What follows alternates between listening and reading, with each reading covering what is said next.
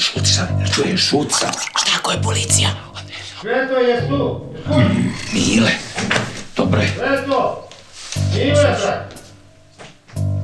Daj, to šta zaključavaš, pa ne stigu pokret, daj. ajde, pazi.